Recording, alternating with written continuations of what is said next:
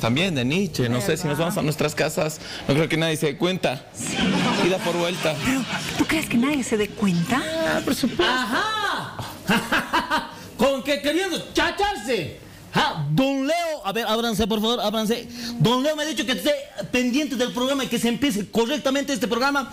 Así que multa por chacharse a los dos. Eh, oficial, con todo respeto, no nos estamos yendo, oficial. Estábamos a punto de empezar el programa, como debe Exacto. ser. Está, nadie se estaba yendo, oficial. No puede multarnos si estamos acá. Aparte, oficial, usted no tiene ni un solo motivo para multarnos. Técnicamente, no salimos del set, o sea que no nos hemos chachado, como usted dice, estamos aquí. Ota, técnicamente tienes razón. Pero de- debe haber algo con qué multarlos. A ver, un... ¡Ah, ah, ah, ah, ah! Multa por desarmar el árbol de Navidad. Multa, multa. Ay, oficial, nos va a multar por eso. Falta, falta Reyes el 6 de enero. Es verdad. Han matado la- el espíritu navideño. Multa. ¿Qué pasa pues? No se puede matar el espíritu navideño antes de tiempo. Cierto. Pero en realidad, oficial, creo que usted se quiere aprovechar de nosotros. Como siempre. Aunque me da pena que se haya ido el árbol y los adornos. Sí, pero yo creo que este año... Sinceramente no nos vamos a dejar que nos multe por cualquier cosa que generalmente usted se inventa, oficial. Bien yo ya he leído el reglamento. Ah. No, y no te voy, le voy a decir una cosa. No solo he venido a multarles por eso, he venido a Ah. multarlo a usted. Particularmente por haber hecho un destrozo de un bien inmueble que no era suyo. He recibido una denuncia. Usted ha roto ¿Denuncia cos- qué? un bien inmueble ayer de la tienda de la señora Eleuteria. Ah. ¿No ha botado la verdura al suelo? ¿No ha roto una canasta? No me acuerdo. En este momento usted viene a ser el cuerpo de Benito. No, un ratito, oficial.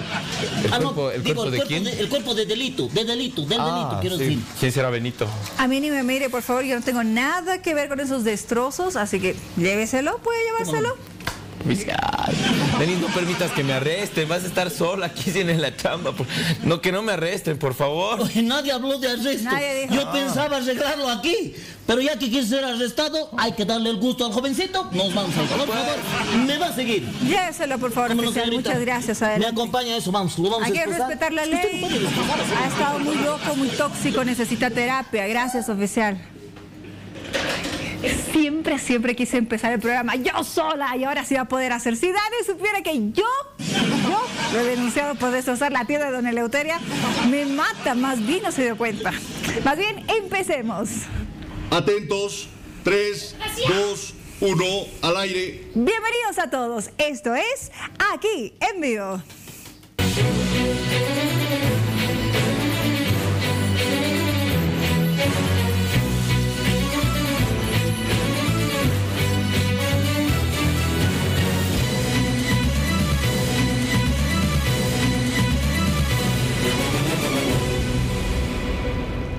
Quiero hacerlo conocer. Estamos viendo imágenes del doctor Ronald Cejas, cuyo cuerpo ha sido encontrado hace pocas horas en la localidad de Yanacachi, departamento de La Paz. Estaba desaparecido desde el pasado 27 de diciembre, cuando la familia sí había denunciado su desaparición. Incluso se dijo de que había una amenaza en contra de, su integridad.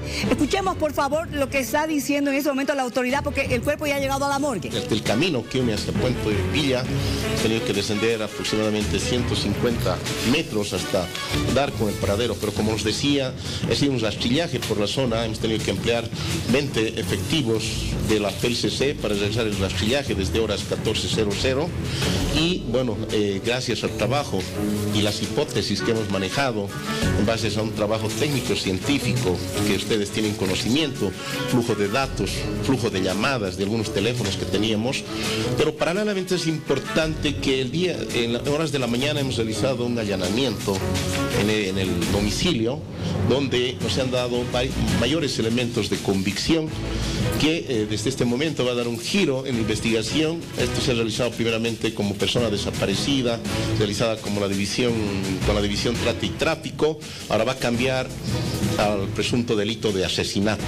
Asimismo, paralelamente y en coordinación, como es costumbre, la policía boliviana eh, realiza un trabajo de coordinación con las FELCCs a nivel nacional. En este caso hemos coordina- coordinado en base a los elementos que se han colectado en el, registro del domicilio, donde nos han dado varios elementos de convicción que nos han ayudado eh, a establecer y determinar algunas personas que hemos generado también una resolución de, eh, de aprehensión y se ha coordinado inmediatamente el trabajo simultáneo con la FLCC de la ciudad de Santa Cruz, lo menos dado con el paradero de una persona y eh, bueno, la FLCC ha realizado en Santa Cruz la aprehensión del mismo que está siendo trasladado en este momento a la ciudad de La Paz. Eh, también en el lugar se ha procedido a la aprehensión de otra persona de sexo femenino que también eh, en base a la investigación periférica tanto del entorno interno como también externo nos ha dado lugar a que podamos establecer y llegar a la verdad histórica de los hechos. En base a estos extremos, la, la ha cumplido porque había el clamor de la familia, eh, el pedido al señor ministro y al señor comandante general de dar con el, eh, paradero de este médico. Este médico eh, trabajaba en, un centro de salud de Puente Villa eh, por, aproximadamente cinco años y por eso había mucha gente que estaba pendiente al trabajo de la FLCC. Había familiares que han llegado, que han llegado desde, desde Cochabamba. Se ha hecho un trabajo, como les decía, en base a entrevistas y algunos elementos, pero quiero resaltar nuevamente y reiterando el trabajo que nos han brindado los de la del municipio de Yanacachi, que son con ellos que hemos logrado eh, primero el hallazgo y la recuperación de, de Ronald Cejas, eh, el médico que se, que se encontraba en primera instancia como persona desaparecida, la FLCC en un tiempo récord de 48 horas. Siempre es bueno resaltar que, que, la policía boliviana, con la coordinación que realizamos, realizamos una investigación técnico y científica que nos dan varios elementos de comisión, como es el flujo eh, de algunos teléfonos que hemos podido obtener y en base a las radiobases o la georreferenciación. Hemos hecho el rastrillaje en el lugar y hemos tenido que rescatar, en logrado el hallazgo del, del médico de Ronald, eh, como les reitero, el mismo que se encontraba a orillas del río. Es, un, es una zona de difícil acceso, porque son, eh, existen mucho, eh, muchas piedras y el, existe mucho el, el, curso de los, de los ríos, es demasiado fuerte, pero en base al rastreo, al rastrillaje, se ha dado con el paradero y tenemos que lamentar, bueno, eh, la familia se encuentra acá, ya tenemos una investigación avanzada, tenemos dos personas aprendidas, se han generado las, las resoluciones de aprehensión, se ha hecho conocer al, al fiscal eh, que está con el caso inmediatamente. Por eso también la FELCC en Santa Cruz es un trabajo muy coordinado, no solamente con la FELCC, sino también en base a la información proporcionada en primera instancia por la Policía Rural y Fronteriza, que también inmediatamente ha proporcionado todos los elementos de convicción, que seguramente están, ustedes están viendo, recién nos hemos trasladado desde la zona, que exactamente es a 53 o 54 kilómetros de acá de la ciudad de La Paz. Coronel, se tiene entendido la hipótesis que se maneja.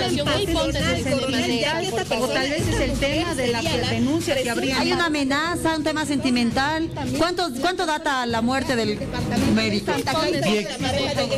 Muy bien, muy bien, muy bien. Es importante que la división homicidios en el lugar ha realizado el levantamiento legal del cadáver.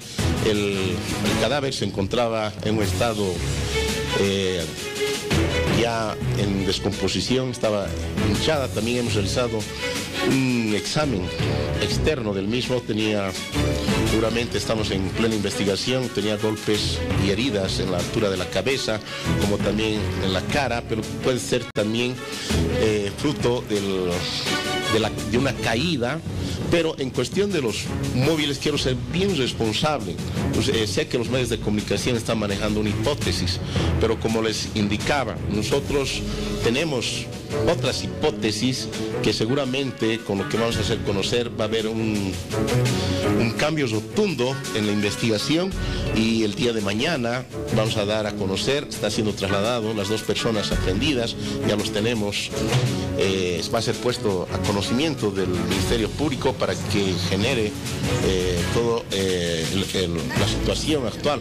Pero es bueno señalar también a ustedes de que es el fiscal, en base a sus atribuciones que tiene, va a determinar, de acuerdo a la conducta que vamos a hacer conocer, el tipo penal. Pero estamos manejando el, como asesinato, porque se ha constituido también la división eh, homicidio, se ha realizado levantamiento legal en el, lugar, en el lugar. Y quiero felicitar el trabajo arduo que ha realizado la FELCC con los 20 efectivos y es bueno que lo sepan también los, la población boliviana porque el lugar es es demasiado inaccesible, pero eh, la policía boliviana, con todos los recursos que tiene, ha llegado eh, al hallazgo en primera instancia de la persona, del médico eh, Ronald Cejas. ¿Habrá más implicados? Se tiene entendido, coronel, que esta pareja está siendo investigada, aprendida. ¿Puede haber más personas involucradas? Bueno, la investigación está en curso, no descartamos, pero gracias a la investigación prolija las pesquisas realizadas desde el primer momento, proporcionadas tanto en las entrevistas como también de los familiares que se han constatado, y el allanamiento que hemos realizado esta mañana, nos han dado mayores elementos de convicción que se va a hacer conocer el transcurso de la noche al eh, director funcional, quien seguramente ya va a realizar la resolución de imputación y va a determinar el estado actual de en este caso. Ustedes tienen conocimiento que el primero de diciembre se ha procedido a la aprehensión de una persona, en este caso por la Policía Rural eh, y Fronteriza del municipio de, Chulumani, porque había una respuesta pronta. Y esa coordinación nosotros también hemos apoyado en la investigación y eh, son 48 horas exactamente. Y vuelvo a reiterar, esta investigación es fruto del trabajo coordinado que se realiza tanto con los familiares, con la población, el municipio, que nos dan mayores elementos para poder nosotros como policía boliviana realizar un trabajo pero eh, efectivo, en este caso el hallazgo en el lugar y eh, bueno, es importante también hacer conocer a los medios de comunicación, es una investigación en curso, tenemos dos personas aprendidas, uno de sexo masculino y una de sexo femenino, que por cuestiones de investigación no los voy a hacer conocer porque nos tiene que, bueno, se va a ser sometido a la declaración informativa policial, pero tenemos mayor, mayores elementos de convicción que nos van a, a determinar como los presuntos presuntos autores materiales de este lamentable hecho criminal que eh, seguramente ya es el fiscal que va a determinar eh, la situación procesal de los mismos. ¿Se ha confesado el crimen de parte de la mujer? ¿Se tiene conocimiento de cuánto tiempo se ha podido eh, lograr trasladar el cuerpo? Se tiene entendido que han hecho un arduo trabajo ante todo esto y ha sido un lugar muy complicado para que ustedes puedan llegar al lugar. Así es, pero es el trabajo técnico-científico. También nosotros, la policía boliviana, tiene los medios tecnológicos para llegar a establecer esta situación. Eh, como, eh, hay medios de comunicación que se han constituido al lugar, han visto que es una zona eh, inaccesible, es un monte que llega a aproximadamente 150 metros, pero también existe radiobases que nos han dado exactamente para hacer un rastrillaje por la zona y hemos logrado ya el hallazgo. Y como me preguntaba usted, eh, ¿me puede reiterar, por favor? Me decía. El tiempo que se ha Es bueno, es bueno. El estado está en enfitematoso. Significa que existe, eh, bueno, el, cadáver ya se encontraba hinchado. Eh, por lo menos estamos presumiendo de los siete, que hoy día son ocho días desde la desaparición que ha sido en fecha 27 de diciembre.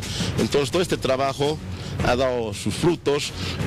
Bueno, eh, están acá los familiares, la policía boliviana en base a las unidades de prevención, unidades de investigación, se ha dado como, el clamor de la familia era, eh, bueno, lograr la recuperación en primera instancia del cadáver. Lo hemos logrado, también se encontraba los familiares, las tías y algunos medios de comunicación han tenido entrevistas con los mismos y eso nos ha servido de mayores elementos y es el trabajo coordinado que se le hizo tanto con los medios de comunicación como con la sociedad, con el municipio del lugar. Pero ha sido importante el registro del lugar del hecho que hemos llegado.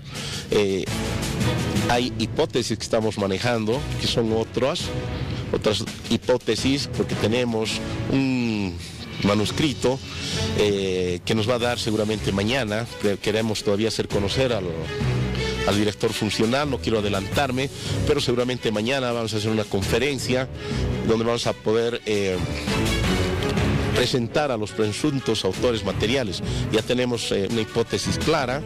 Eh, eh, bueno, hasta el momento tenemos tres personas aprendidas sobre este caso. Ahora, ¿qué, qué, qué, qué grado de participación? Ellos intentaron escapar a Santa, en Santa Cruz. ¿Cómo fueron Se tiene entendido que sería eso por el tema de que ha sido del caso de violación. En cuestión de Santa Cruz, nosotros tenemos una coordinación inmediata y ha dado resultados. Hemos proporcionado el nombre, un flujo de llamadas y también eh, sabemos que esta persona eh, se había ausentado de la ciudad de La Paz en fecha 31 de diciembre. Son casos que nos ha hecho eh, realizar, bueno, las los móviles y circunstancias como se hubiera suscitado este caso. Pero como preguntan ustedes, estamos manejando justamente desde el día que ha desaparecido por el estado actual que se encuentra el cadáver, estamos haciendo una presunción, por lo menos de 7 a 8 días que se encontraba el cuerpo por las características, por el estado en que se encontraba el, el cadáver. ¿no? Esto lo ha realizado una investigación en el lugar, hemos hecho un rastrillaje para poder encontrar algunos para poder colectar algunos indicios en el lugar.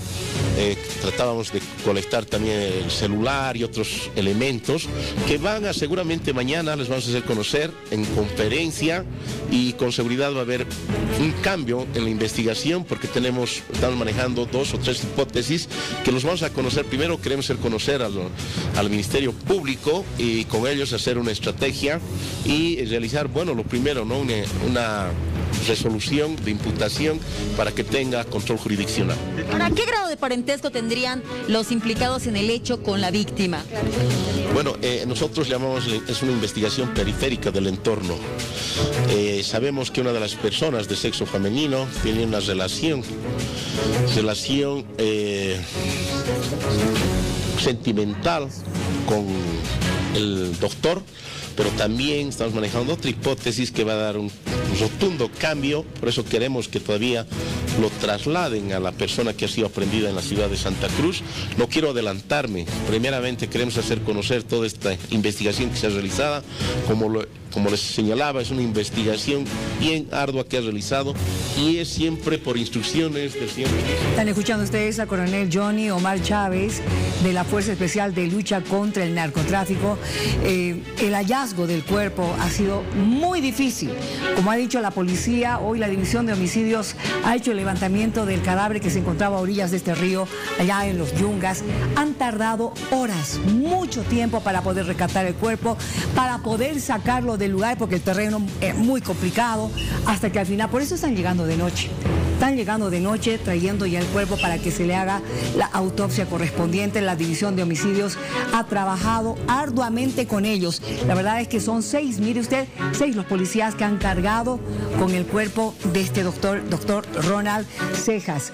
El doctor Ronald Cejas de 39 años de edad. El 27 de diciembre se había comunicado con su familia en Cochabamba, indicándoles que pronto se verían no lo vieron más, no supieron más. La familia, por eso, alertó desde entonces con la desaparición de su sobrino. Había una hipótesis con relación a una violación que él habría denunciado anteriormente en, Chulumani, pero hoy se habla de dos aprendidos, un hombre y una mujer. Lo acaban de escuchar el coronel, ha dicho de que la mujer parecía que tenía una relación sentimental con el médico, pero creo que no solamente con el médico. Eso habrá que esperar la investigación, ya la confirmación que nos den las autoridades. Giovanna Cárdenas, nuestra compañera, está ahí en la morgue, ella ha estado haciendo seguimiento, ha hablado incluso hace varios minutos con la tía, quien también nos había dado algunos datos sumamente interesantes para esclarecer este caso que lamentablemente termina así de esta manera, con la vida de un médico. Mañana esperemos ya saber a ciencia cierta cuáles fueron las causas por las cuales él habría sido asesinado.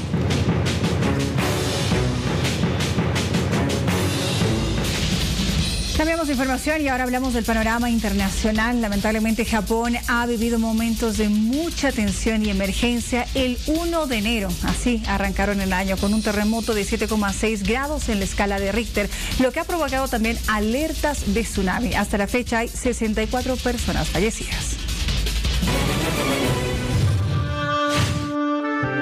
Un potente terremoto de magnitud 7,6 en la escala de Richter sacudió este pasado lunes la zona central de Japón con un saldo preliminar de seis muertos, además de destrucción de edificios, cortes de energía eléctrica y la evacuación de más de 10.000 personas ante el riesgo de grandes destrozos producto al terremoto. Ante esto, la Agencia Meteorológica de Japón ha rebajado la alerta de tsunami hasta nuevo aviso, aunque pidieron a la población no regresar a sus domicilios y las zonas de riesgo ante el peligro de que haya nuevos sismos. Por su parte, la prefectura de Ichikawa, situado al lado del mar de Japón y la más afectada por derrumbes, confirmó la muerte de cuatro personas este lunes debido al potente sismo. Otras dos personas fueron reportadas como fallecidas posteriormente. Ante esto, según información local de ese país, señala que se trata del terremoto más fuerte de la región en más de cuatro décadas. Asimismo, el portavoz del gobierno japonés dijo que el movimiento del suelo destruyó casas y provocó incendios y que motivaron la intervención del ejército en misiones de rescate.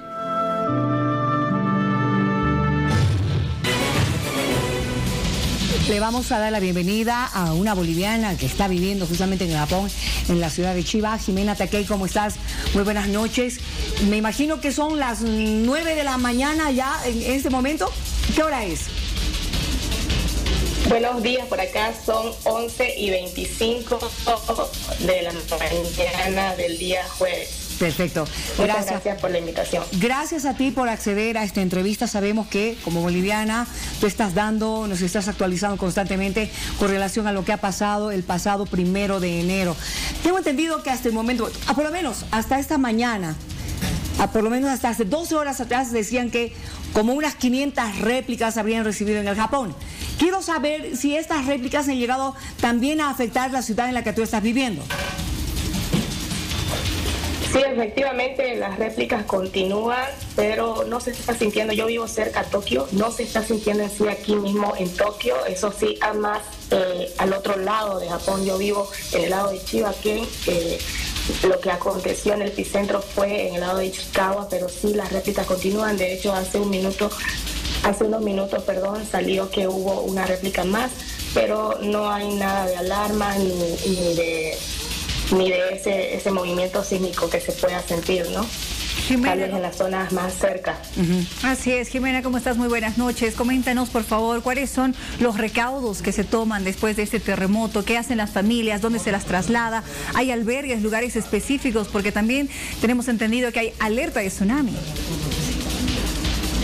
Eh, en, en este tipo de circunstancias ya las personas tienen que tener conocimiento de su zona, en dónde tienen que, a dónde tienen que ir, perdón, cuando sucede este tipo de, eh, de, terremotos, ¿no? de tsunami. Son las escuelas, universidades, eh, montañas, las, las, zonas más altas que se pueda que se puedan evacuar las personas, ¿no? Pero el gobierno ahorita ya está en tipos coliseos, con tiendas de campaña porque han habido muchísimas casas que están destruidas, ¿no? Y la verdad es que eh, en esos momentos uno no piensa, ¿no? Pero siempre cuando uno se, se, tiene que mudar a algún lugar, uno ya recibe todo, como se podría decir, el material informativo para poder escapar a los lugares de evacuación más cerca de, de nuestra zona, ¿no? Jimena, a juzgar por las imágenes, ha sido un terremoto muy fuerte, obviamente. Los datos hablan del terremoto más fuerte en los últimos 40 años, pero ves las imágenes y evidentemente es algo muy complicado que se ha vivido allá. Contanos un poquito, lo único, lo primero que uno piensa cuando sucede esto es la afección a centrales nucleares o también los servicios básicos en el lugar. Eh, ¿Me puedes hablar un poco de esos dos temas, por favor? Los servicios básicos. Está, está todo cubierto ahorita por el gobierno. De hecho, el, el primer ministro Kishida dijo de que él en persona se iba a encargar de eh, controlar todo lo que lo que es el, tema de la seguridad para las personas no se están eh, proporcionando agua ahorita no hay nada de gas de, luz de, de, agua en la zona afectada pero hoy en la mañana mostraron en la televisión que con tanques llenos de, agua. Obviamente las personas tienen que hacer un esfuerzo de levantarse más temprano. De hecho, creo que en esa zona ni se puede dormir por el miedo, ¿no? Pero están cubriendo, el gobierno sí en esta parte, eh, como eh, Japón es un país sísmico, entonces están preparados para este tipo de tragedias, ¿no? Justamente a eso voy a apuntar porque sabemos que han estado preparándose tanto en la forma de construir las viviendas, los edificios. El hecho de que tengan más de 60 muertos, ¿te dice algo, Jimena? Eh, es decir, qué pena que haya 64 muertos. Digo, lo lamento mucho, porque hemos visto que las casas que han sufrido el impacto de este terremoto han sido aquellas casas tradicionales, las más antiguas, que evidentemente no han debido tener un tratamiento sísmico porque son de hace muchísimas décadas. Pero, ¿qué te dice esa cantidad? Es decir, ¿estaban realmente preparados o es que ha sido inevitable? Hablando un poco de, de la cifra, ahora hasta una, unos 20 minutos atrás está actualizado, son 73 muertos. 73. Y sobre las casas, ¿no? De hecho, yo vivo en una casa antigua, ¿no? Eh, los lugares más seguros son el baño, la cocina, eh, inclusive debajo de, una mesa se puede como que sobrevivir, ¿no? Pero en ese momento como que no da tiempo para coger, por ejemplo, un silbato, que es lo que necesitamos para que si en algún momento llegase a pasar eso, lo puedan escuchar. Eh, de hecho, las cifras que usted comenta, ¿no? son muy pocos. Yo sé que es una pérdida, ¿no? O sea, lamentamos mucho las pérdidas, pero a comparación del 2011 ha sido eh, un poco menos de, lo que se podía esperar todavía, no ha terminado la búsqueda de las personas. Jimena. Pero eh, esperemos que, que acabe aquí, ¿no? que no encuentren más personas porque es lamentable. Jimena, te quiero hacer una consulta para hacer un paralelismo eh, en lo vivido, seguramente hace 40 años no teníamos internet, no teníamos las redes sociales que tenemos ahora, ni los blogs, de información que son segmentados, información al instante. ¿Cómo ha podido cambiar? ¿Cómo está manejando la gente? Porque hay temas de suministros que son súper segmentados que la gente puede acceder. ¿Cómo ha modificado el Big Data para que la gente esté preparada a este tipo de temas? La verdad es que el tema de la tecnología ahorita ha sido un punto a favor de todos en realidad, ¿no? Porque eh, por ejemplo, aquí en Japón hay mucha comunidad latina, pero no todos hablan japonés, ¿cierto? Eh, la, alerta, la alerta de, tsunami ha sido enviada para todos los teléfonos móviles en el idioma que el teléfono está configurado. Mm. Eh, todas las personas que tienen acceso a un teléfono también han podido pasar información sobre puntos de, acopio, puntos de eh, eh, recolección de alimentos y todo eso. ¿no? La comunidad latina ahorita sí también está muy unida, pero la tecnología ha sido, como le digo, un punto a favor para nosotros. Inclusive yo intento con el poco japonés que sé, a pesar que mi padre es japonés, eh, cuesta un poco, pero trato de transmitir las noticias que salen en japonés por mi cuenta de TikTok en, en español, ¿no? Y así ayudarnos entre todos. Así es, Jimena. Bueno, hemos visto también a través de las redes sociales justamente una creadora de contenido que ha alertado en el momento en que se estaba registrando este, este hecho, porque también ya hay alertas, alarmas a través de su celular para que puedan tomar sus previsiones, para que se pueda ubicar estos lugares donde se necesita sobre todo agua. Pero hablando de agua, también las lluvias estarían perjudicando los trabajos de rescate. ¿Cómo va a estar el clima en los siguientes días? ¿Qué se sabe? El clima ahorita, hasta ayer estaba lloviendo en la zona del epicentro, ¿no? Estaba lloviendo, está 6 grados, eh, en Tokio está 6 grados, en Chicago está en 5 grados, ¿no? Y justamente estábamos hablando, ¿no?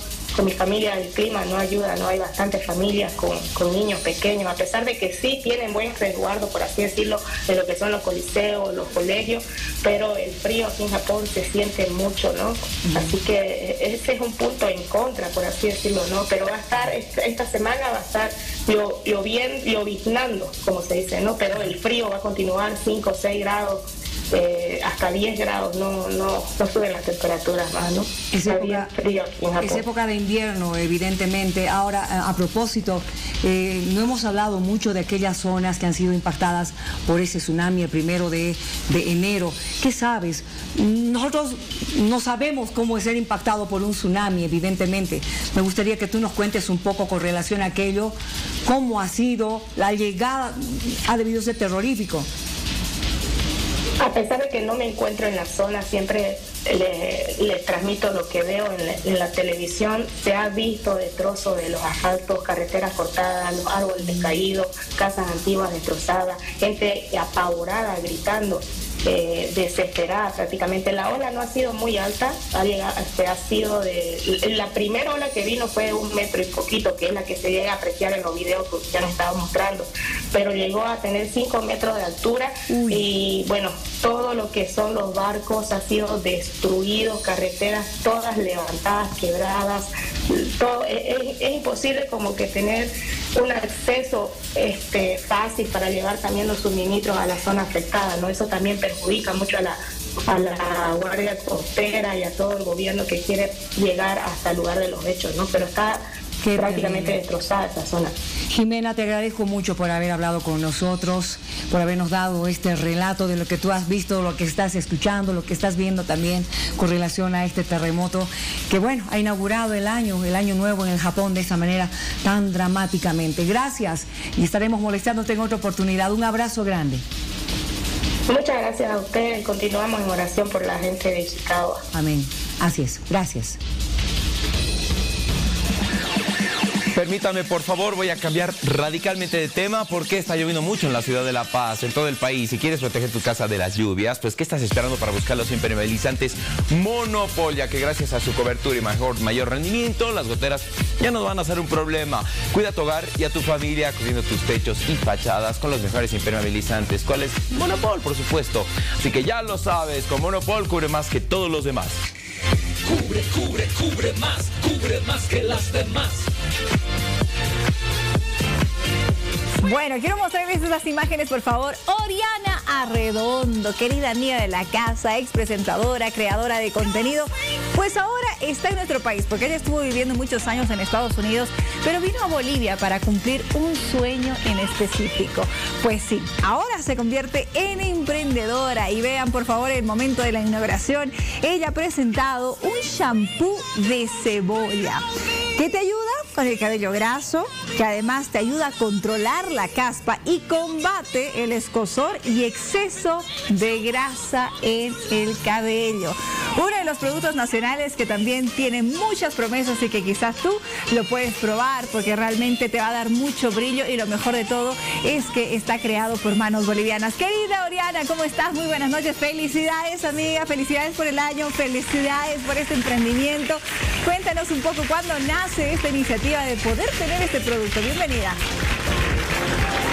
Hola mi querida Denise y a todos en el estudio, feliz año, un placer saludarlos a todos en el país. Emocionada porque ya tenemos nuestro producto, eh, nuestro shampoo de cebolla, era algo que necesitábamos para todas esas personas que obviamente todos tenemos el cabello totalmente diferente, unos tenemos cabello graso, otros tenemos el cabello reseco, otros necesitamos realmente tener el cabello largo o lo queremos más largo, fuerte. Entonces, para todo el mercado boliviano hecho por manos bolivianas, un producto con mucho amor artesanal. Tenemos ya nuestro shampoo de cebolla y sacamos en, primer lugar nuestro kit de shampoo de Romero, que fue nuestra primera línea y el primer bebé. ¡Ay, yo quiero Para el crecimiento del cabello. ¿Cómo estás, Oriana? Qué lindo saber que tú siempre has sido una mujer inquieta. Siempre, siempre has estado de aquí para allá moviéndote, pero eso, eso me gusta, ¿sabes? Que es un ejemplo para muchas mujeres que dicen, ¿qué puedo hacer? ¿Qué no puedo hacer? ¿Qué, qué maravilla? Qué maravilla que estés con este tipo de productos. ¿Cómo te has animado a meterte en este emprendimiento? Bueno, eh, era algo que quería hacer hace un montón de tiempo, eh, tener en mente de que qué puedo brindar yo a, a, a mi gente cuando vuelva a Bolivia, eh, no lo tenía honestamente como en mente, porque obviamente cuando llegué la primera vez a Santa Cruz fue como que, ok, voy a visitar a mi familia, voy a disfrutar del presente, del aquí y el ahora. Eh, y de repente empezaron como que, no sé, algún, no sé, el universo como que te pone a las personas adecuadas y estoy muy agradecida con mi socio. Estoy, estoy en una sociedad en este emprendimiento y ellos, bueno, se comunicaron conmigo, me dijeron, Oriana, queremos ver esta oportunidad de negocio. Y yo no lo veía como que yo, pero ¿qué voy a hacer? Estoy entre Estados Unidos y Bolivia. Y inicialmente no iba a venir muy seguido a Bolivia porque, bueno, yo que me habían dado todo el tema de, mi, de mis documentos, entonces dije, bueno, voy a ver pero quiero, quiero probar el shampoo, quiero ver, quiero analizarlo, si es que, bueno, si va conmigo. Y fue como que, ok, un vistazo para mí para decir, ok, este proyecto lo quiero, lo quiero tomar. Siempre he sido muy honesta en mis redes sociales y he dicho que este producto no es solo de Oriana Redondo, es un, es un producto hecho con mucho amor para todos y estoy en una sociedad y les mando un beso enorme a, a mis socios que me han impulsado y me han ayudado en todo momento, a Jorge Jaramillo, a Gabriela Dorado, a ellos que se han portado excelente y este, desde ahí me empecé a involucrar más con el tema de los shampoos artesanales y es un producto que bueno le está yendo muy bien, gracias a Dios. Qué bueno. Ya estamos en, en todos los rinconcitos de Bolivia, gracias a Dios. Qué bueno. Ahora, estás hablando de un socio. Ese socio es familiar, es muy cercano a ti, es una amistad. La familia está involucrada. Cuéntame un poquito de eso.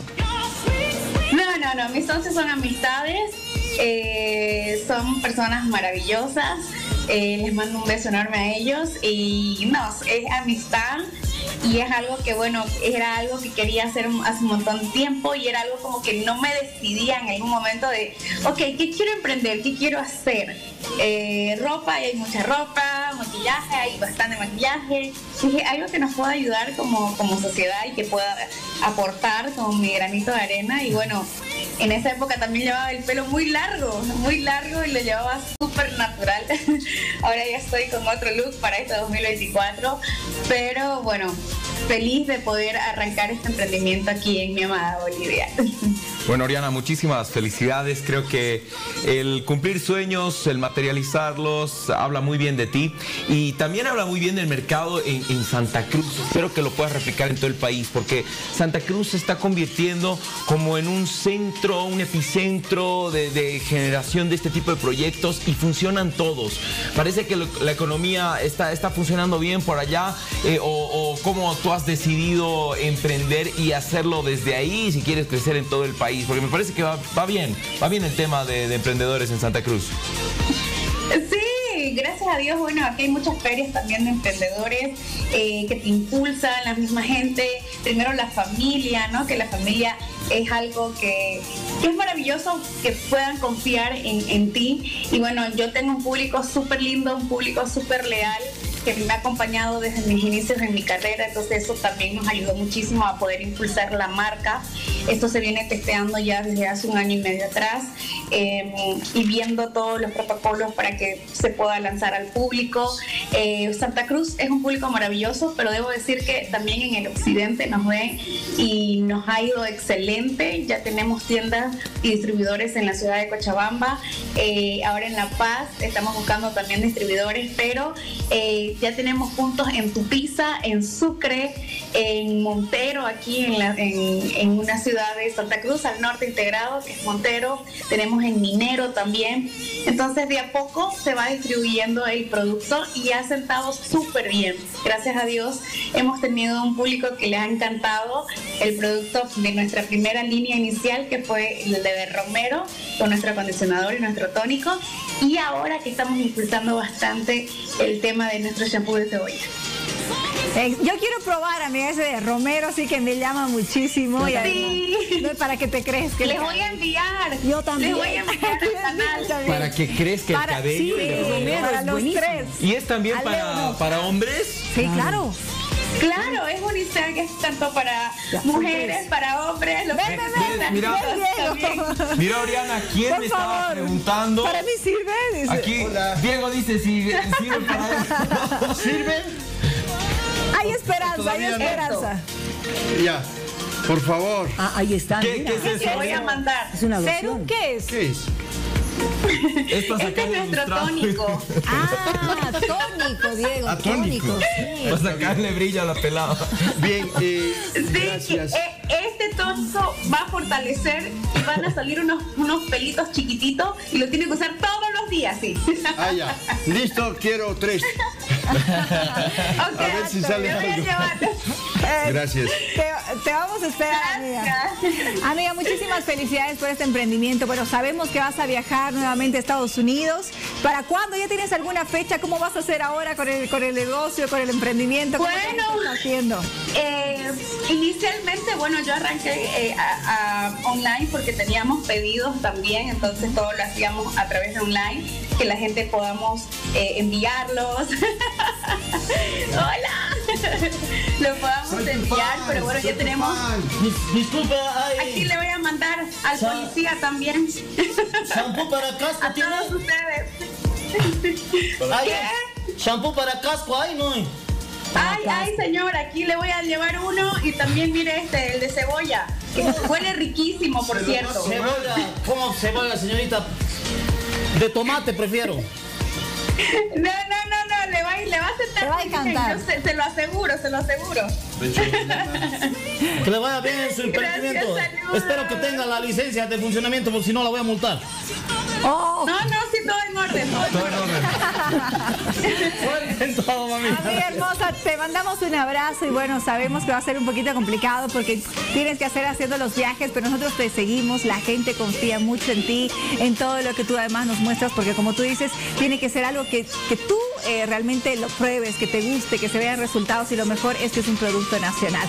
Estamos esperando, por favor, esos pedidos, vamos a recibirlos, probarlos y luego veremos la cabellera. Muy bien. Éxitos, amiga. Ok, ¡Feliz año! Feliz año, chicos. Chao, chao. Gracias.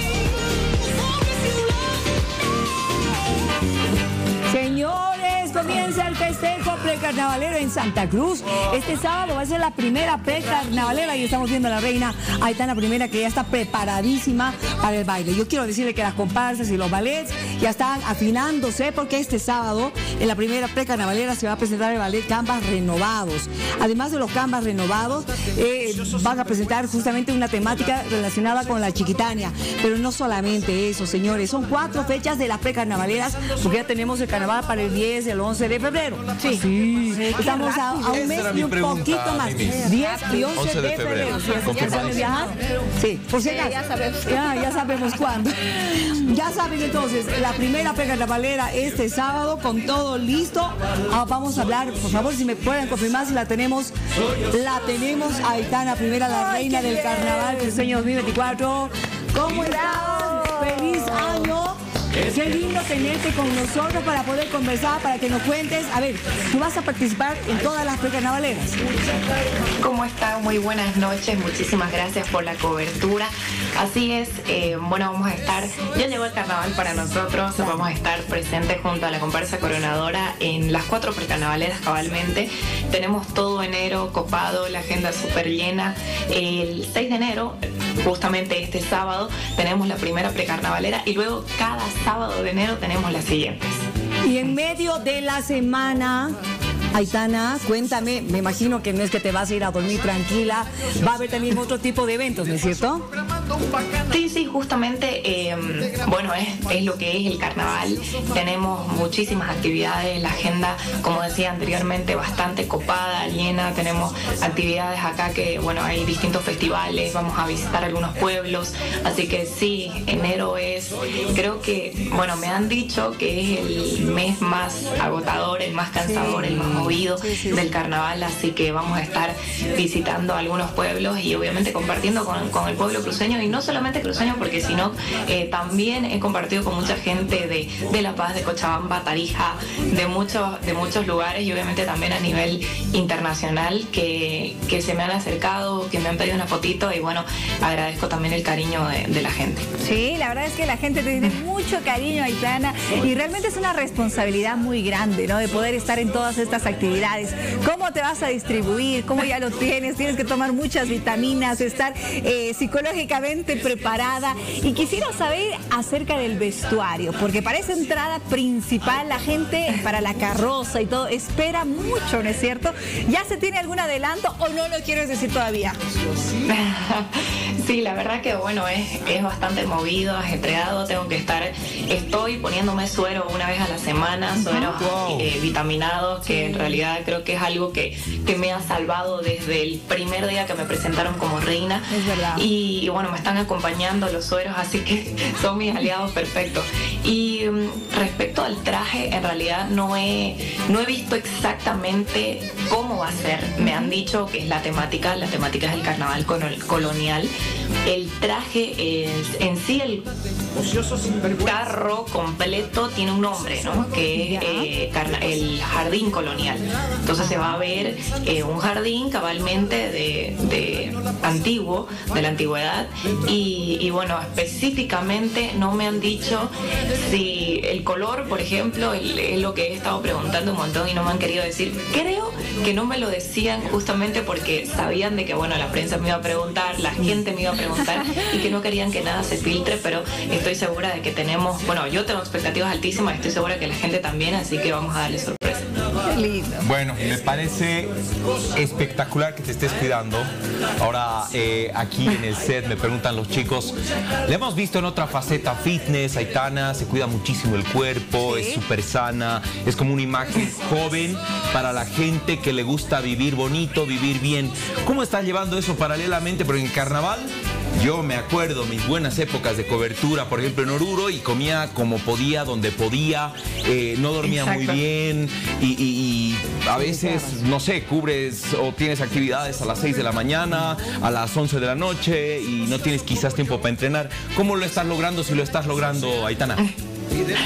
¿Cómo estás? Buenas noches. Eh, bueno, en realidad no tengo horario para comer. Como cuando puedo y duermo cuando puedo también. El momento que pillo una colcha, que pillo un- una alfombra, lo que sea, me echo para dormir, así sean 5 o 10 minutos, lo hago porque tengo que aprovechar eso también.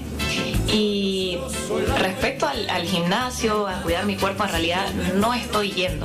No estoy yendo, no entreno hace, bueno, antesito del carnaval, un poco antes ya no estaba entrenando porque eh, tenía muchísimo trabajo, gracias a Dios, y, y bueno, con el tema de la universidad también. Estaba muy agotada con el tema de, de- de los finales y todo eso, entonces no estaba entrenando, pero sí, lo que me ayuda bastante es mi genética, creo yo. pero Claro, con Pero ese sí. padre, con ese padre, No, ¿cómo ya- Pero no sí, va a en tener realidad, la, eh, la buena genética, Todo digo lo yo? que ella ha llevado adelante, ¿no? Sí, su cuerpo Sí, en realidad creo que, bueno, como decía, que, que trato de dormir el tiempo que puedo. Obviamente sí puedo porque hay días, por ejemplo, los lunes, yo los lunes eh, son mis días de descanso después de un fin de semana largo porque todos los fines de semana son llenos de actividades. Eh, mis lunes específicamente los he pedido de descanso o, o de repente para dedicarme a mí, no netamente para estar echada en mi cama, sino para eh, cosas que tiene que hacer una reina, ¿no? El tema de la depilación, el tema de cuidarse con el tema de los sueros, eh, quizás comer un poco más porque no estoy comiendo de la manera en que como normalmente, eh, me cuido más con los horarios en mis días lunes, entonces por ese lado es que que tendría un tiempito quizás este lunes para entrenar, pero lo dedico netamente a, a mí, a mí y a descansar. Y digo, no, si entreno voy a quedar agotada ya levantándome un martes o macurcada de repente, entonces prefiero dejarlo ahí y, y de repente ya eh, terminando el carnaval le meto con todo nuevamente a, a mi cuerpo, pero esto, todo esto me está ayudando también. Bueno, y eso en realidad he bajado de peso eh, por todo este movimiento y todo esto que no, no tengo horarios para comer y hay veces que como poco, Aitana. pero sí trago como camionero. Ah, ya. Comes bien, eso dice que eres de buen diente. Pero ahora, en medio también de estas reuniones y del festejo, evidentemente también no es que te van a invitar un refresquito, te deben invitar también bebidas alcohólicas. ¿Cómo te estás cuidando de aquello? Mira, te cuento que algo que a mí me, me- se me hace muy fácil justamente es decirle no al alcohol, porque yo no tomo.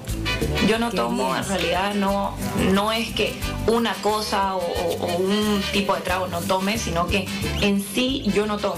Qué bien. Más por, por, más por cuidarme, eh, trato de que, de que también la reina, la imagen de la reina se vea bien. Entonces es algo que me está jugando a favor el que yo ya venga sin tomar, porque yo no tomo, no es porque le sea la reina, sino que no, no tomo alcohol. Pero eh, me está ayudando mucho esto, me está eh, jugando mucho a favor para que en todo este tema de reinados yo me dedique netamente al reinado y eh, cuidar mi imagen como reina del carnaval, ¿no? Porque si bien, por ejemplo, soy una reina de eh, que puedo estar haciéndole publicidad a una cerveza, pero eh, eso no quiere decir que tenga que excederme o que tenga que estar eh, tomando a cada rato, ¿no? Entonces yo creo que hay, hay límites con eso y la verdad que me está jugando a favor, no, no tengo ningún problema de, de- de poder decirle quizás no o, o no tengo ganas de tomar o no quiero tomar o estoy bien, entonces normalmente me invitan agua o soda porque Me es lo gusta, que pido. me gusta mucho lo que estás diciendo, cuidar la imagen, porque finalmente Sí. tú eres la representante del carnaval cruceño. Y me parece bárbaro realmente. Es fácil decir no cuando uno realmente quiere decir no. ¿Qué dices tú? Va, va, Eh, va a disculpar, va a disculpar que a nivel nacional Reina Aitana tenga que multarle, porque yo sé de los accidentes de tránsito que ha provocado, no por la bebida alcohólica, yo sé bien que usted no toma, pero la gente que está manejando, cuando usted se está paseando con esa belleza, esas curvas que usted tiene, se da la vuelta a verla, está, se choca. Así que la vamos a tener que multar por su belleza, me va a disculpar. ¿Le mando cuero o lo arreglamos ahorita? Usted me avisa nomás, no se preocupe. Ah, arreglemos oficial cuánto es. Oiga, Mira, ya no sé qué decir, ya no sé qué decir. el que tiene que hacer reír soy yo, no usted. No se la Me, me va a mandar internamente un QR, vamos a arreglar, no se preocupe, va, va a poder seguir con el reinado, no se preocupe. Felicidades, me, me- me parece muy bien que no tome y cuando tome nos va a invitar a mí y a Daniel, no se preocupe. Ahí vamos a estar presentes. Felicidades, doña Zeina. Gracias, oficial. Gracias, querida haitiana, muchísimas gracias, muchísimas felicidades. Te estaremos apoyando, te estaremos siguiendo, porque los paseños y los bolivianos también nos encanta ver todas estas actividades, ver, por supuesto, eh, además a la gente compartir, ver la cultura, la tradición que también se vive en el oriente del país. Así que nuestro corazón está contigo, es un gran periodo, tenemos una gran representación, así que mucho éxito en esta época de carnaval y también un feliz año. Gracias, haitiana. Muchísimas gracias, gracias a ustedes. Aprovecho también de agradecer a toda la gente de La Paz. Realmente me encanta La Paz, tengo familiares allá, visito muy seguido y, me encanta. Yo viví cuatro años y medio en La Paz, así que eh, le tengo un cariño enorme a esa tierra hermosa y espero también de que me puedan acompañar en esta agenda carnavalera. Los espero en las precas y en el corso cruceño, así que las puertas y los brazos abiertos para mis hermanos paseños. Qué bueno, habrá gente que viaje, pero los que no podemos te vamos a estar siguiendo a través de las redes sociales. Seguro que sí, muchísimas gracias. Gracias por el cariño. Feliz año. A ti, feliz año, un abrazo. Chao, haitiana. que sigue siendo la cifra de la vergüenza, a pesar de que sí, con- en relación a años anteriores, está descendiendo. Estamos esta noche con la señora Carla Choque, que es directora general del Observatorio de Seguridad Ciudadana y Lucha contra el Narcotráfico, para poder conversar un poco de estos casos. Muy buenas noches, gracias por estar con nosotros. Yo considero todavía que sigue siendo la cifra de la vergüenza, porque el día que lleguemos a decir cero feminicidios, cero infanticidios y todas aquellas barbaridades que están afectando a nuestra sociedad, ese día yo creo que recién vamos a poder decir lo hemos conseguido. ¿Cómo está usted? Muy buenas noches, estimada Miriam, y a través del canal de Bolivisión un saludo a todo el país. Evidentemente, este es un dato que no nos alegra, no nos alegra ninguna muerte que se efectúe, sobre todo cuando es a una mujer.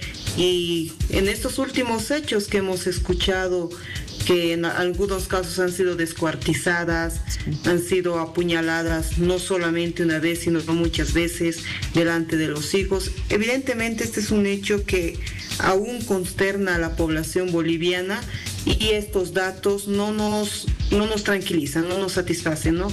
Pero algo importante que como gobierno central hemos ido trabajando justamente en la atención inmediata, en esclarecer casos de manera rápida, en poder trabajar y ver políticas para que esto se pueda mejorar, ¿no? Eh, hemos recibido nosotros el país en la gestión 2020 con 113 casos, esto fue bajando, 108 el 2021, la gestión 2022 con 95 y hemos llegado a 81. La intención del gobierno central es seguir trabajando con esto para que esto vaya reduciendo y podamos llegar por lo menos a la gestión 2025, como lo mencionaba hoy el ministro de Gobierno, con un dato mucho menor, ¿no? Exacto. A ver, en casos de feminicidios, La Paz lleva la cabeza. Está a la cabeza. En casos La de infanticidios, La Paz también. En feminicidios e infanticidios es La Paz la que está ocupando los primeros lugares. Sí, evidentemente, La Paz está con 23 casos de estos 81 que fueron presentados, que representa el 28.4%, seguido de Santa Cruz con 21 casos, que representa el 25.9%, ¿no?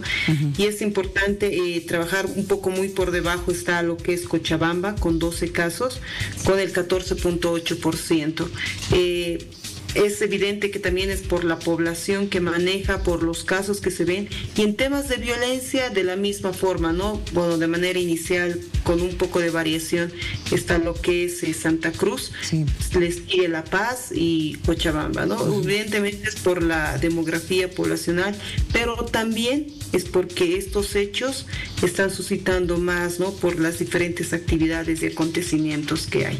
Ahora, directora, en este afán de ir eh, eh, mejorando, por así decir, disminuyendo estas cifras, pero también mejorando la atención a las personas que son víctimas de agresión, de violencia intrafamiliar, eh, hay que ver un poquito más lo que están haciendo en la policía, porque durante todo el año pasado hemos recibido varios casos en los que nos han señalado y han denunciado que cuando van a hacer una denuncia, va una mujer agredida a hacer una denuncia, no le reciben la denuncia. Entonces, algo está fallando todavía por ese lado. Sí, justamente como Policía Boliviana y como nosotros, institución dependiente también del Ministerio de Gobierno, hemos ido coordinando reuniones con ellos. Eh, para primero ver las estadísticas y para ver las estadísticas también tenemos que analizar este tipo de atenciones, ¿no? Y son casos diferentes, Miriam. Hemos recibido en algunos casos que eh, muchos efectivos policiales de la FELCB cuando llega de inmediato alguna víctima a hacer la denuncia, en algunos casos han llegado hasta madres con hijos a hacer la denuncia escapando del agresor, cuando estos efectivos han tenido que hasta ayudarles, ¿no? Brindarles un plato de comida ayudarles en algún pasaje, eh, hasta de psicólogos en ese momento, porque una llega con el desahogo, ¿no? Se ha visto muchos de estos casos que muchos efectivos policiales han tenido esta atención, ¿no? Hasta el mes de octubre de la gestión 2023 se han registrado 29.273 denuncias solamente de violencia familiar, en la familia, dentro del hogar. Exacto. En la gestión pasada 2022 tuvimos a la misma fecha, con el mismo mes de corte, 36.470, ¿no? Y igual se está trabajando para poder eh, reducir justamente este tipo de, situaciones. El año pasado también para mejorar este tipo de atención eh, como gobierno nacional se nos ha instruido a todos poder tomar cursos de, violencia, eh, de atención, de mejorar esta concientización para que justamente podamos trabajar. Evidentemente lo que usted menciona, Miriam, es un hecho que ha suscitado también, que es con algunos efectivos que van rotando y muchas veces ellos tienen que ir aprendiendo. Y usted lo dice bien, y usted lo dice bien, son algunos. No es toda la policía, son algunos. Pero esa, es, esos algunos sí hay que mejorar. Y esperemos que el próximo año o este año la cifra sea mucho menor. Ojalá lleguemos a cero. Gracias, directora, por haber conversado con nosotros. Seguimos en trabajo. Seguimos trabajando. Que le vaya muy bien. Muchas gracias. muchas gracias por esta invitación y aprovecho para poder mencionar que el observatorio está realizando una investigación en esta temática, con la cual en un par de semanas vamos a compartir con toda la población. Muchas gracias, Miriam. Que le vaya muy bien. Buenas noches.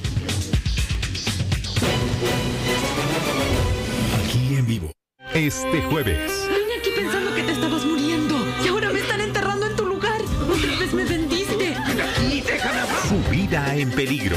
El señor Boran ya firmó. Entonces, señorita Sila Sonnes, ¿acepta casarse con Boranyenko por su propia voluntad? Sila, esclava por amor. De lunes a viernes a las 19.40. Pensé que iba a quedar muy mal cuando me mordió aquel perro.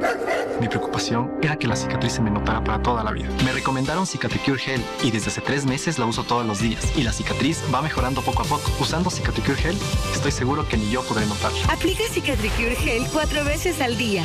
Cicatricure Gel, si lo usas con constancia, se nota. ¿Sabías que el cuero cabelludo graso puede producir hasta un gramo de grasa al día? Nuevo Tío Nacho Anticaída Purificación, sin parabenos, con todo el poder anticaída de la jalea real más células madre. Elimina el exceso de grasa. Siente tu pelo purificado como recién lavado todo el día. Nuevo tío Nacho Anticaída Purificación.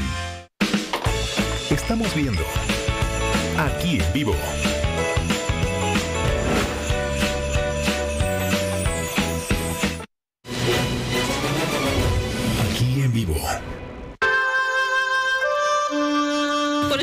Acudido a Canal Bolivisión que me si ve las personas eso. Yo lo único que quiero es recuperar a mi hija.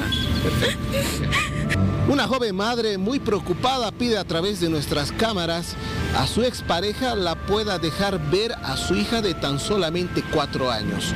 Ella comenta que se la llevó su ex concubino hace más de un año y no la puede ver hasta el momento. Vivieron aproximadamente tres años bajo el mismo techo. Fruto de esta relación nació la pequeña que ahora tiene cuatro años de edad. Cuenta Verónica, quien es la madre de la niña, que su relación terminó tras que él asegura que en varias ocasiones le habría sido supuestamente infiel con otras mujeres. Ahora dice que su expareja, con engaños, escapó con su hija. Y no, no me deja ver a mi hija. No tengo comunicación con mi bebita, nada. Hasta el momento yo le he rogado a él. Aseguraremos y buenas así. Déjame ver a la bebé. No me dice nada, no me responde nada, me deja en visto. Le pregunto, ¿está bien? ¿Está bien? Lo único que me dice, sí, está bien, está bien. Pero yo dentro de mí yo presiento que no está bien, que algo malo está haciendo. Me ha pegado una vez yo, y él está consciente, me ha pegado. Yo he caminado ojos verdes y mi oreja igual me ha roto él y él sabe. Y hasta eso yo le he Se llama Romario Acho Aquino, tiene 27 años. ¿Y es el papá de su Es el papá de mi hijita. Segunda vez ya es, y se la ha hecho costumbre y se aprovecha de mí porque yo no tengo mis hermanos, nada, y se aprovecha de mí.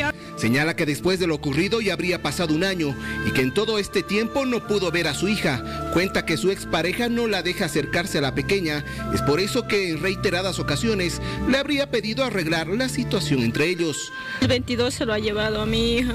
Desde ese momento hasta ahorita no tengo contacto con mi hija, nada. Le ruego, le suplico así, le he dicho, "Ay, me quería morir por hija y todo, ya la ha valido.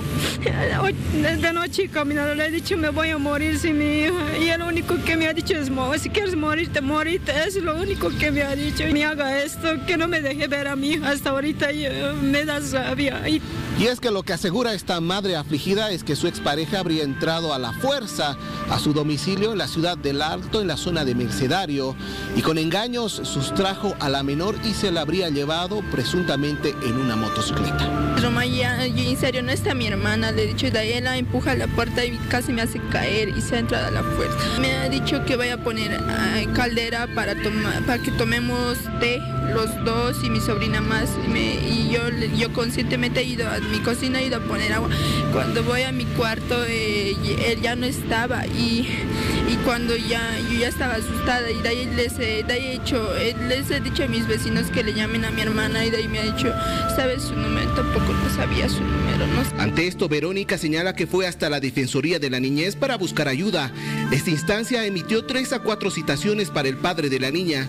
Sin embargo, cuenta esta madre que su expareja nunca se presentó ante la Defensoría. Lo que me dice es, no, no podemos hacerle nada porque al final es su papá y los dos tienen oh, este eh, Derecho. derecho de la beba, me ha dicho. Angustiada y desesperada llora y pide a su expareja ante nuestro programa le permita volver a ver a su pequeña hija, que hace aproximadamente un año que no la habría visto.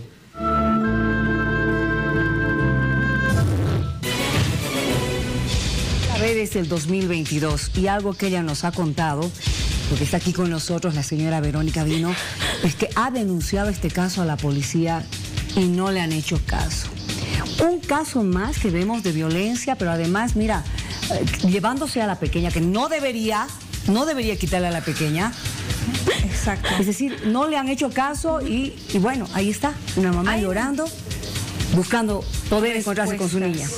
La policía, la Defensoría de la Niñez, quienes han notificado a este hombre en tres o cuatro ocasiones, pero nunca se ha presentado. No, nunca se ha Está bien, presentado. bienvenida, por favor, Verónica Vino Torres, quien es la denunciante, la que está atravesando esta situación difícil hace varios años. Verónica, cuéntanos, por favor, ¿Por qué se llevó? ¿Qué sabes de este hombre? Hasta el momento no sé nada de él. Yo le he hablado de este último, le he dicho, hablaremos más, yo le he dicho. Y el único que hace es hacerse la burla y me dice, ya vamos a hablar, vamos a hablar. ¿Qué es lo que tanto siempre quieres? Le he dicho. No, y no me dice nada, le o, o quieres volver, le he dicho, volveremos. Y humillado, le he aguantado sus insultos, todo, y no, no quiere. Yo le he dicho, no quieres aceptar por las buenas, entonces ¿cómo vamos a aceptar? Le he dicho, yo voy a ir a las presas esta vez, le he dicho, y mi mamá se ha, ido y me ha dicho, haz lo que quieras, yo no tengo miedo, me ha dicho, y, y por eso yo estoy viniendo a acudir a las presas, yo ya no sé qué hacer, yo estoy desesperada por mi bebita, ya no tengo contacto desde que se lo ha llevado a mi bebé. ¿Sabes dónde está él? ¿Está aquí en La Paz? Están aquí en La Paz, En La Paz. está, sí. Y cuando, no sé, cuando le he hecho llegar la citación ya no quería ya no quería encontrarse, ya no me, ya no me hablaba, se hacía la burla. Yo le he dicho de buenas volveremos, si no volveremos, Mario, mediante un papel volveremos, le he dicho. Y me ha dicho, no, siempre te vas de la casa, siempre te vas de la casa. Me dicho, yo no me iría si vos no me harías hablar así con chicos. Estábamos viviendo en un departamento. Y pasa que estábamos trabajando en la mina, los, los, los dos. Y cuando ya hemos salido de la mina, resulta que habla la misma chica y me dice a mí me ha llevado a ese departamento. me ha dicho. Entonces yo ahí lo- yo le he dicho, no vas a cambiar, vos nunca vas a cambiar, le he dicho. Tranquila, toma, la, toma agüita, por favor. Vamos a ver que se calme un, un poco. Usted ya ha escuchado la nota. Verónica nos cuenta que no ha visto a su niña desde hace años, desde que No le he visto y no tengo contacto con mi bebita. Yo pienso que algo me la ha hecho a mi hija. A ver, eh, ¿qué te han dicho? Bueno, me has dicho que la policía no te ha hecho caso No, para no me han hecho sentar la denuncia. Ojalá nos estén escuchando. Hace rato hemos hablado de los datos de, de- de feminicidio. Muchos de estos casos, no diré todos, pero muchos no les han dado la importancia de vida en su momento, ¿no es cierto? Pero también la Defensoría, ¿qué te ha dicho? La defensoría solo me ha dicho que no pueden hacer nada porque también tiene los derechos. En la Félix es igual lo mismo, me han dicho tiene los, los mismos derechos, tiene, no, no es secuestro. me- Pero, o sea, solamente están velando por el derecho de él y no tu derecho. No me hacen caso a mí, se parece que está de parte de él y no de mí. Yo también he caminado ¿Tienes sola y no me abogados, hacen caso. ¿Tienes abogados? ¿Tienes respaldo Me, legal? me he contratado un abogado igual y, y mi abogado igual me lo presenta, igual no, no, parece que al final mi abogado igual no me lo caminaba bien. Ya da, yo he seguido aquí, aquí a la, a la Bolivisión ya he venido, tampoco no me dice nada. El abogado Voy tampoco se está sí, movilizando. tres abogados y he, he ido buscando nada tampoco. Y no se presenta, él no se presenta. Yo le he dicho, ¿dónde vives? Vos te estás aprovechando por lo que yo no sé dónde estás viviendo, le he dicho. Te voy a hacer una pregunta. ¿Hay alguna denuncia en contra tuya que este hombre haya puesto? No, no, no tiene nada, denuncia. nada, yo no le he Tú lo has nada. denunciado, has tratado de denunciar que te ha quitado a tu niña. Sí. Pero no ha pasado No, nada. nada. ¿Él es el que te ha dicho que te ha sido infiel? ¿Él lo ha reconocido? Sí, lo ha reconocido. Lo ha reconocido, él sabe bien. Cuando yo he salido a la mina, yo eh, cu- era en carnavales, era, yo estaba en la mina y se ha ido a, a Rivas, se ha ido a trabajar. Y pasa que yo, no sé, de comita y revisado su mochila y revisado y había tenido un celular más escondido. Y eso era en carnavales, yo, yo, y- me ha agasado a mi bebé su mochila, más me he salido una chica de ahí, más me ha ayudado, se llama Rebeca. Con ella me he salido y ella me ha ayudado y me he venido aquí. No sabía qué hacer Entonces, tampoco. ¿tú crees que sea un castigo que él te está dando por haberlo Yo pienso que a mi hija eso lo me ha quitado por hacerme sufrir. Es posible. Y ojalá las venganza. autoridades que están viendo este caso, Denise, puedan hacer algo para poder eh, hacer justicia con esta mamá. Una madre que está desesperada, son varios años que no ve a su pequeñita y su niña también la necesita. Necesita a su La madre verdad, para no poder protegerla, para poder cuidarla. Verónica, vamos a estar haciendo seguimiento al caso, por favor. Tranquila, gracias por acudir a nosotros y no te vamos a dejar sola. Yo les rogaría, ayúdenme a encontrar a mi bebita porque al final él nunca la ha querido. Y en el momento cuando yo estaba embarazada nunca se ha hecho responsable de mi hija.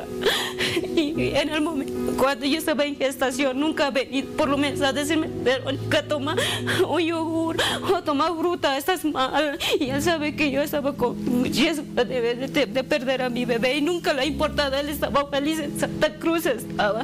Y cuando yo le he dicho que estaba embarazada, lo único que ha salido, se le ha ocurrido era no abortarlo. Y eso es lo que más me duele a mí que me diga él. Qué lamentable realmente ustedes están viendo este caso de esta joven mamá que está esperando que las autoridades le puedan hacer caso y que le puedan, puedan hacer justicia para que pueda reencontrarse con su pequeñita a la que estamos viendo. Evidentemente no se la nota bien por también precautelar la seguridad de esta pequeña.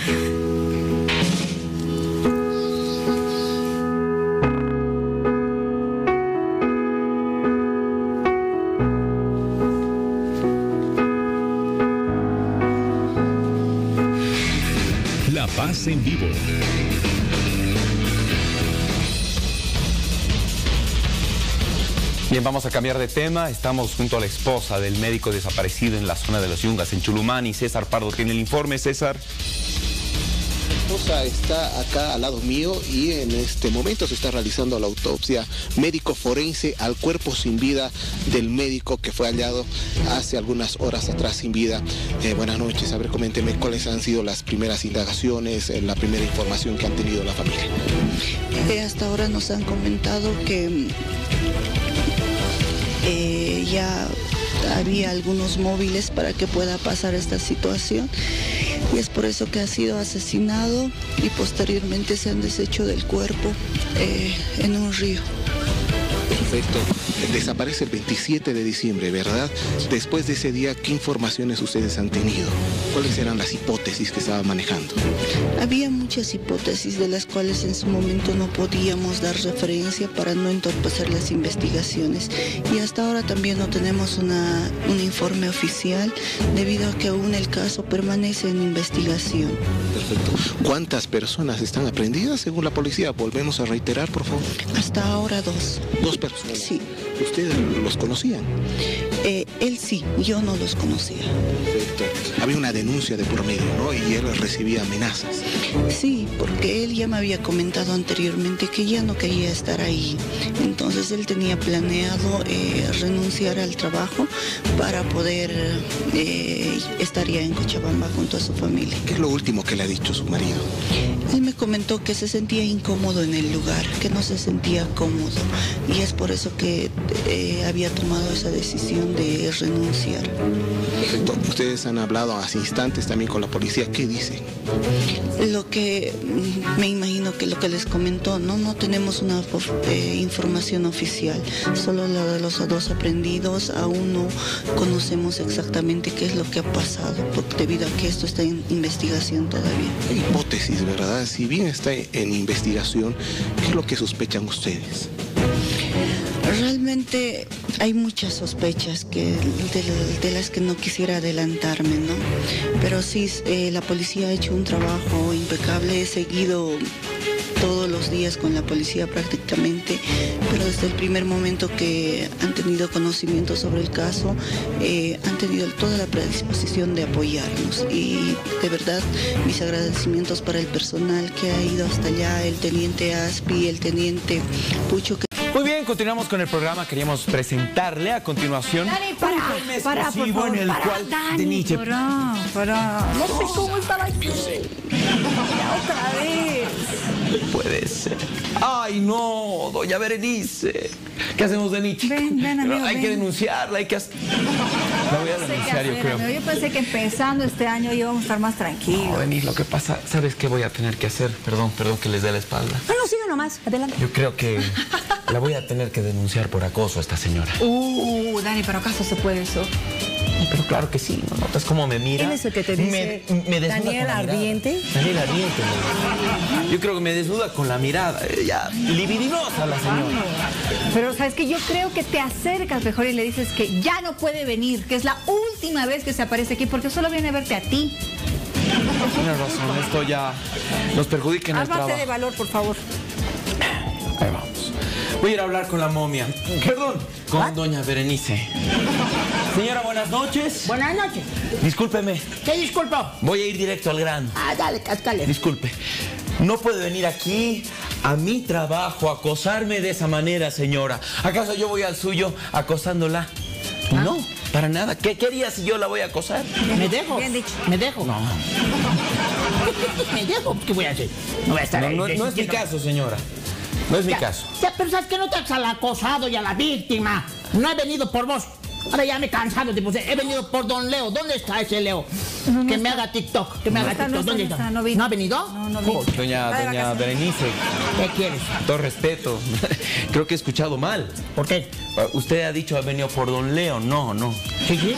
No, Tan no. lío, baila, lindo baila pues. Ah, mamá, ¿dónde están los juguetes? No, creo que, que he escuchado, escuchado mal, no. ¿Ha venido a verme a mí usted? No, ya no. ¿Cómo no? Lo amigo. Bueno, ya no quiere nada contigo, eso es un punto a favor. Ah, Un ratito, eh, no hay que arreglar este tema. Yo creo que le ha dado Alzheimer. ¿Qué cosa? Señora, soy yo. Daniel Ardiles, Daniel Ardiente, usted me quería ver sin ropa, ¿se acuerda? No, no, Todo no, el año pasado venía por mí. Lo ¿no? que pasa el año pasado ahí se queda. Ya no quiero nada. Este año voy a cambiar. Entonces al TikTok, pásamelo. Lo están ocultando. está de vacaciones. Lo están ocultando. Vacaciones. Pero bueno, no querrá verme a mí sin ropa, ¿no? A, a eso viene. No, No, no. lo voy a permitir yo, no lo voy a permitir. Dijo que no, pero. A ver, eh, Ya no me interesa verte chuto, hijito. Ya no me interesa. Puede ser. Daniel, a ver, no es lo que querías, lo lograste bien. Ya No. verás, no quiere saber nada de ti. Un ratito, a ver, es que Ay, no, no me digas que va a ser tóxico otra vez. yo le pido, señora, es que esto me, me- me hace perder mi, mi Autoestima. mi autoestima. Pero, a ver, ay, No, de Nietzsche, ah, esto lo voy Ya, a ya, ya, solucionar, no te nada, preocupes. Señora, le, le- le exhorto a que recapacite y venga, no tome las decisiones a la, a la ligera. Cuando yo ¿Sabes decido algo, señora, no hay vuelta atrás. ¿Está segura de lo que está diciendo? Me ha tentado eso de exhortar, que me ibas a exhortar, pero no. No, no voy a hacer. Ya no quiero nada contigo. Estoy segurísima, ya no quiero nada con Ardiles, ni Ardites, ni nada. Quiero con el TikToker. me alegra, muy bien. Lo lograste, Dani, la pasa de uva, ya no te quieres, ya fuiste, ya eres. ¿Cuál pasa de uva, señorita? ¿Qué le pasa a usted? Astrepita. No, no, no, no, no me escucha mal, doña Bernice. Lo que pasa es que quiero darle una mala noticia. ¿Qué? No está Leo, está de vacaciones, no está en el programa, ha sido Sao Paulo. ¿Dónde se ha ido el bombón argentino? Yo nunca he comido carne argentina. Quería que sea la primera vez.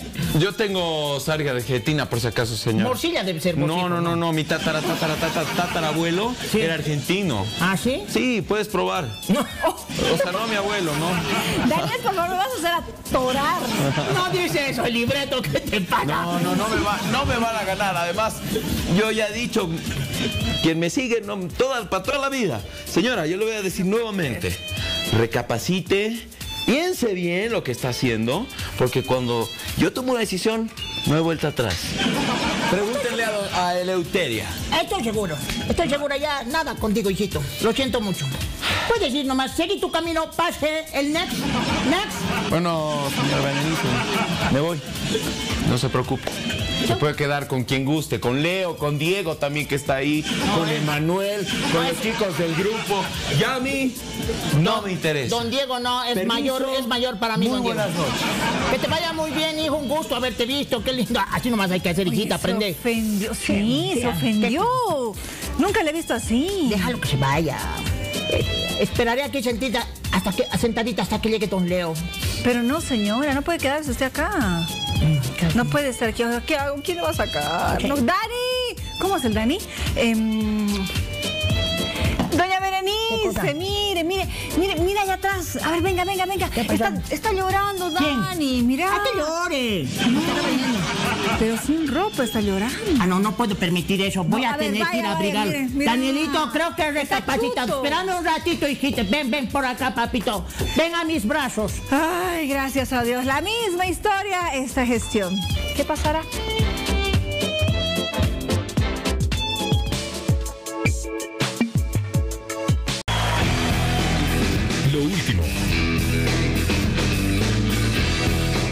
César Pardo nuevamente en la morgue, por favor, porque tenemos que seguir actualizando la información en torno a la muerte del doctor Ronald Ceja. ¿Sabe lo último, César? Gracias, Miriam. Sí, exactamente acaba de concluir lo que es ya la autopsia médico-forense al cuerpo sin vida del médico. En este momento ya personal de la funeraria ya están conversando con los familiares efectivamente para ya trasladar el cuerpo del eh, doctor. A ver, voy a hablar con la tía. Buenas noches. eh, ¿Qué les han dicho? Buenas noches. Eh, nos van a entregar ya su cuerpo y han terminado la autopsia. Eh, más hasta ahorita no, no hemos hablado nada todavía con el doctor que ha procedido la autopsia. El fiscal no está todavía, ¿no? Ya se fue el fiscal. Ya se fue. ¿Qué les dijo? No, nada, absolutamente nada. Un tipo de informe, nada. No, nada. ¿Qué procede ahora? Eh, ahora no los vamos a llevar a la funeraria. Hasta mañana, en cuantito del informe, seguramente el ministro de gobierno, eh, no los vamos a llevar a Cochabamba. Directamente al entierro, ¿no? Al entierro, ya como ya es ocho días ya de, de la muerte de mi sobrino, eh, está ya en descomposición. Directamente yo creo que para enterrarlo lo vamos a llevar. ¿Hablaron ustedes tal vez aparte con la policía? Nada. Después del informe que se dio. No, no, nada, absolutamente nada. Él para su informe también hasta, hasta mañana. Muchas gracias. Sí, a ver, eh, Miriam, amigos del país, efectivamente en instantes más van a Bien, van a y han sacar... concluido, volvemos a reiterar, este examen médico forense hace Solamente el fiscal encargado del caso acaba de retirarse hace aproximadamente 40 minutos. No pudimos hablar efectivamente con él para que se nos dé un informe, pero eh, acá personal también de lo que es ya el hospital de clínicas también se encuentra al interior de este lugar para sacar el cuerpo sin vida del médico. Muy bien, gracias eh, César. Siete, ocho días dijo la policía que tenía de ya de, de fallecido eh, cuando han hoy encontrado el cuerpo y lo han Ahora bien, eh, hay dos personas aprendidas. Falta conocer ah, exactamente cuáles han sido o cuál ha sido la causa de muerte porque encontraron el cuerpo con posibles golpes. Si han sido traumatismos, qué fue lo que causó la muerte de este médico y además el por qué habrían causado la muerte de este doctor. Gracias César, seguramente mañana la policía y también el Ministerio de Gobierno den una información ya concreta y definitiva con relación a este caso.